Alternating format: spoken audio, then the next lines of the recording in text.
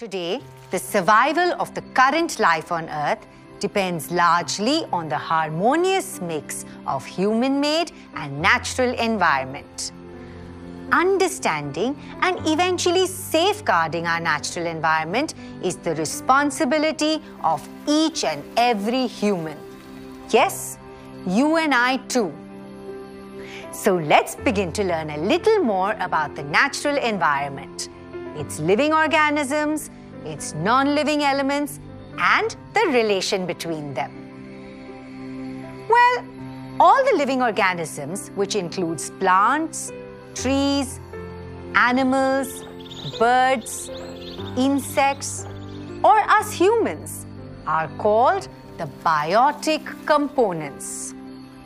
Whereas all the non-living elements, that is air, water, soil, sunlight, or even weather can be termed as abiotic components. The survival of biotic components depends on their interaction with other biotic or abiotic components. A jungle surrounded by trees and plants all around and wildlife roaming in the open space. A flower grows with the help of the nutrients and water found in the soil and gases like carbon dioxide in the atmosphere. It blossoms when the sunlight shines and gives the energy to perform photosynthesis. In order to survive, the deer eats the flowers and plants to consume the energy and nutrients which are stored inside them. The deer lives a long and happy life. However, over the years, the deer starts to slow down due to old age and dies. Wait a minute. What do we see here? The deer's body is rotting and decomposing. Hmm.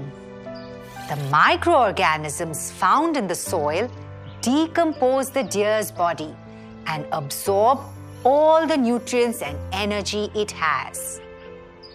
In this cycle, the deer eats the flower to consume the nutrients to live. Similarly, we see that a flower is born again by consuming the nutrients from the dead deer. Do you think that the flower or the deer could survive without each other? Certainly not. Both the flower and the deer are the biotic components of nature. The interaction between these two biotic components helps them to survive. In the same case, we saw that the flower had the help of carbon dioxide, water, and the sunlight so that it could grow and blossom. Without this interaction between the flower with carbon dioxide, water, and sunlight, do you think the flower would grow and blossom? Not at all. Here, the flower, which is a biotic component, interacts with the abiotic component to grow. These interactions between various biotic components or biotic components with abiotic components create an ecosystem. This type of ecosystem that we find on land is called the terrestrial ecosystem. Similarly, we can find ecosystems underwater as well.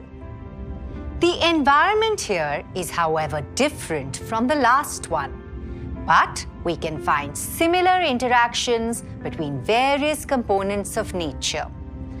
We see a variety of underwater plants and fishes in ponds, rivers, oceans, or seas.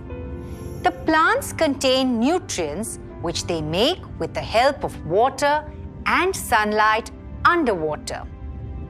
The fish eat the plants to gain energy for their survival.